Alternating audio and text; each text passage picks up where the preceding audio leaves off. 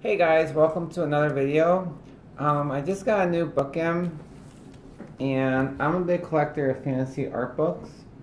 And this is Frank, Frank Frazetta, Icon.